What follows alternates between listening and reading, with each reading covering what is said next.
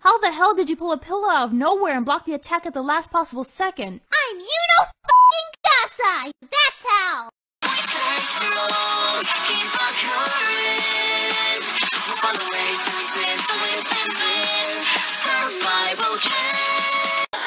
Yuno's here to protect you. I'll do whatever it takes to keep you safe. Because that's how much I love you.